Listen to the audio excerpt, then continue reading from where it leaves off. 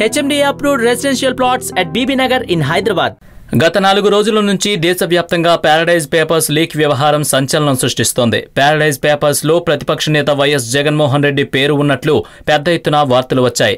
ఈ క్రమంలో ప్రజా సంకల్ప యాత్రలో ఉన్న వైఎస్ జగన్ ప్యారడైజ్ అంశంపై సంచలన స్టేట్మెంట్ ఇచ్చారు. చంద్రబాబుకు సవాల్ విసురుతున్న పదిహేను రోజుల సమయం ఇస్తున్న విదేశాల్లో పైసా ఉందని చూపించిన రాజకీయాల నుంచి తప్పుకుంటానని వైఎస్ జగన్ ప్రకటించారు. ఒకవేళ నిరూపించకపోతే చంద్రబాబు ముఖ్యమంత్రి పదవి నుంచి తప్పుకుంటారా అని ఆయన ప్రశ్నించారు. కొన్ని పత్రికల్లో టీవీలో ఉద్దేశపూర్వకంగానే తనపై తప్పుడు లీకులిచ్చి వాటిని తప్పుదోవ పట్టిస్తున్నారని జగన్ మండిపడ్డారు.